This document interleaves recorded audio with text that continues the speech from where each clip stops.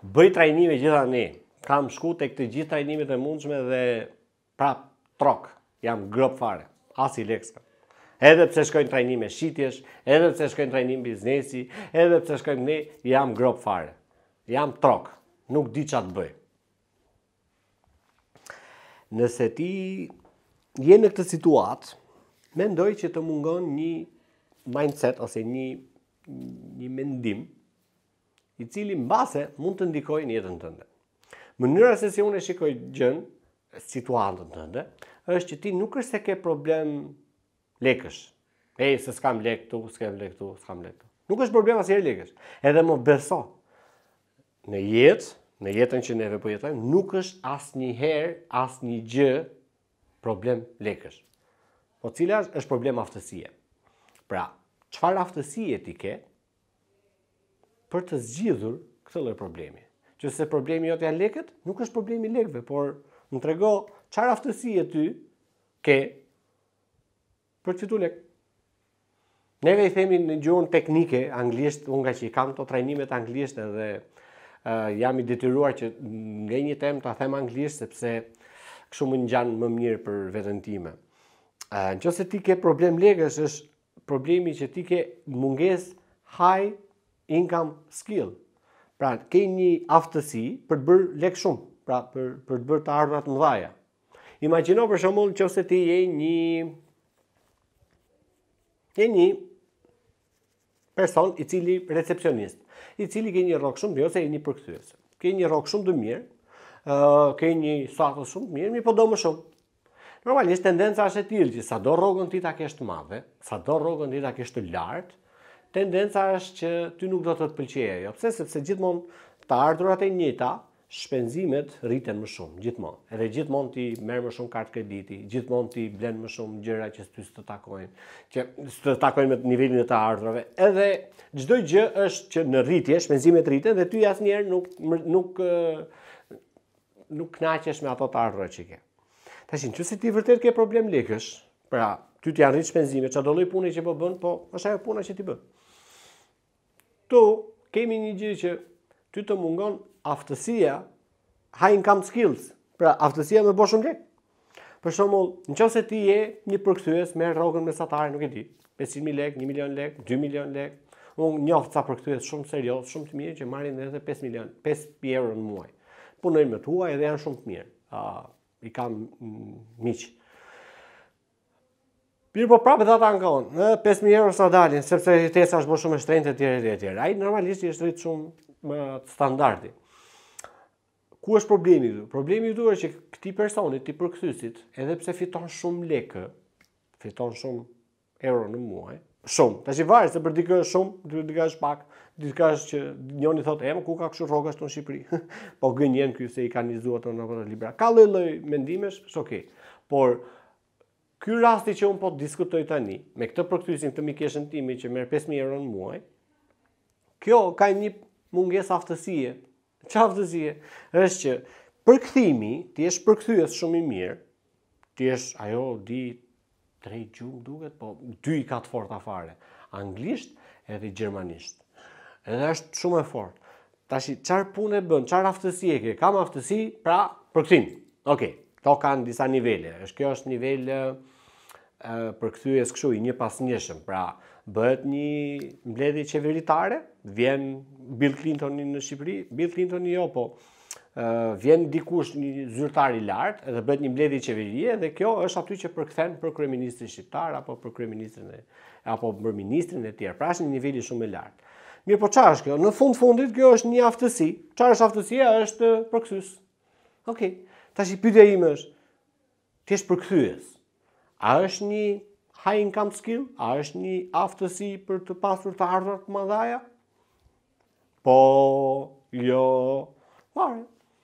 Në qoftë se ty nuk të pëlqen situata në të cilën ti ndodhesh, nuk të pëlqen ty nuk të pëlqen rroga që ke, pra ke problem me lekët, nuk do të thotë se je një përkthyes i keq, ose je një njeri i keq, ose s'jetohet këtu në Shqipëri, ose, ose, ose, ose.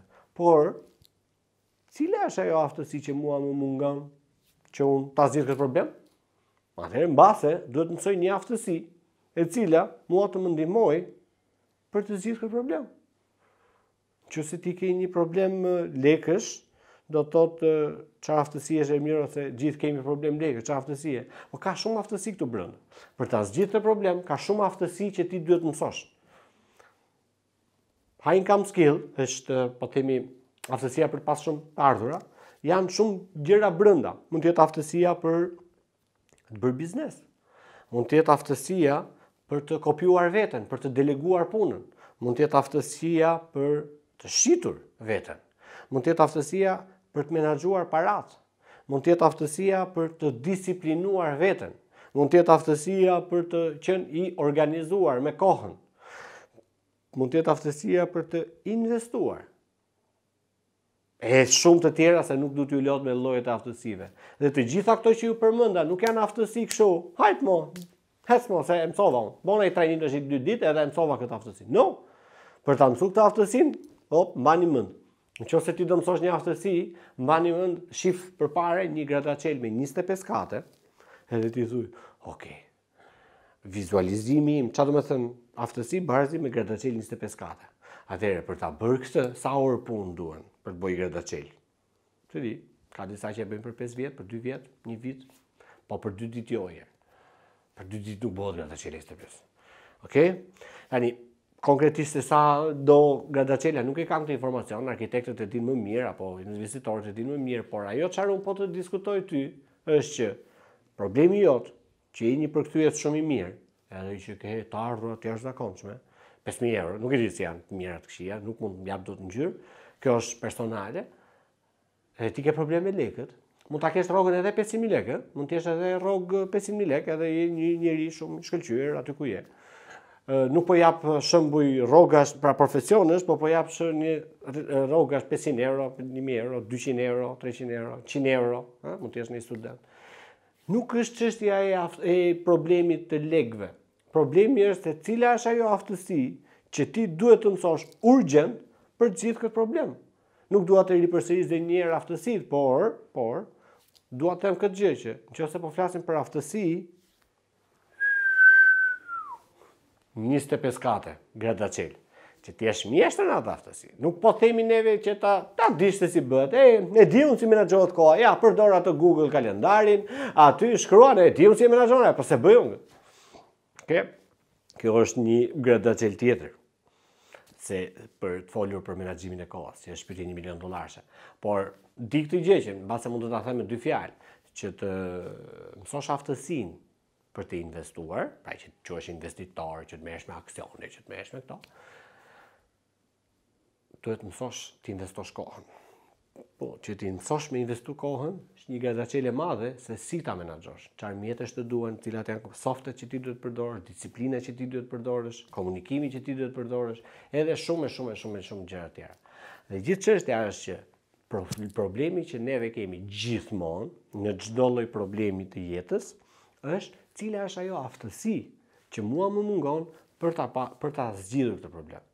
Në qoftë se unë kam problem me bashkëshorten, kam problem me burrin, me gruan, me fëmijët, nuk më ndigjojnë fëmijët, nuk kam problem me prindrit, nuk më kuptojnë prindrit, kam probleme me vlajnë, me motrën, me shokët, me shoqërinë, në atëherë, atëherë ta ndajmë që cila është ajo aftësi që ty po të mungon, që po të krijon këtë problem, për shembull është aftësia për Marrëdhënie me komunikimin me njerëzit.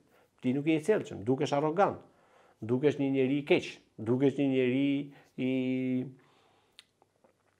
padisiplinuar, pra kështu sikur s'çan kokë. Në një kohë që ti je shumë mirë, po thjesht nuk di rregullat.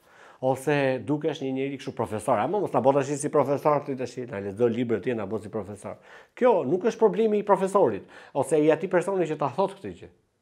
Po ky është problemi që ti nuk di të komunikosh ose nuk di të gjesh gjuhën me fol me atë tjetrin. Është si puna e me fol shqip tash një indiani në Indi. Me i thonë aty, por s'e kupton ai, ose një të Kinës, ose të jesh në Kanada për shembull, dhe aty është gjithë bota. Edhe shkosh në Kanada, edhe Ore, se s'po morim vesh me këto shqip? Plak, kush e di shqipen? E njëta gjë është çështja e aftësive. Domethënë, ajo ti problem që ke është sepse cila është ajo aftësi që ty të mungon për të shku mirë me shokët, me shku mirë me gruan, me familjen. Tashi këtu kemi aftësi për menaxhimin e jetës, life coach, kemi aftësi për menaxhu biznesin, balanca ndërmjet punës, pra profesionit dhe jetës personale. Ke problem me shëndetin, po shëndeti është rezultat. Pse? Sepse ke aftësinë e disiplinës që ti t'i shërbesh shëndetit. Edhe, dhe shumë gjëra të tjera. Mos të lodhemi shumë me informacion. Por gjithë çështja është që Unë bëj trajnime andej këtej dhe prap jam gropë, kujdes, mba mend.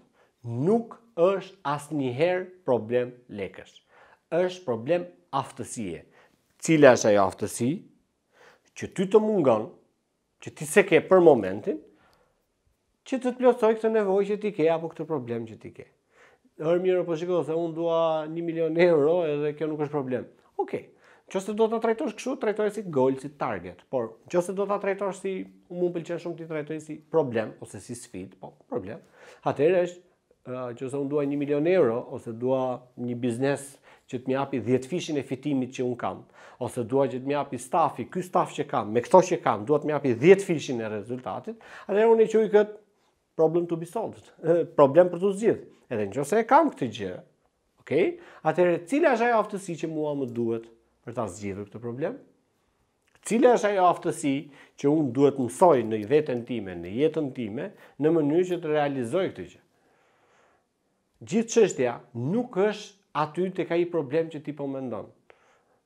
Nga fati, ja ky fat na ra, këtu në Shqipëri s'bëhet gjë, nga Zoti ose nga një fuqi e mbinatyrshme se më bëri kështu, apo etj etj etj etj, sfida nga më të pafund pa pafundmet që mund të të vijnë, një çështje është cila është ajo aftësi që ty të duhet për ta mësuar këtë sfidë të ta kalosh.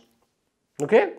Nëse kjo teknikë të pëlqeu dhe mendon që ta përdorësh këtë teknikë komunikimi në marrëdhëniet që ti ke me të tjerët dhe vërtet kjo teknikë ty të ndihmojë që të përmirësosh diçka në jetën tënde, Të pres të më shkruash në WhatsApp, edhe të më thuash që hey Ermir shiko unë provova këtë dhe më funksionoi.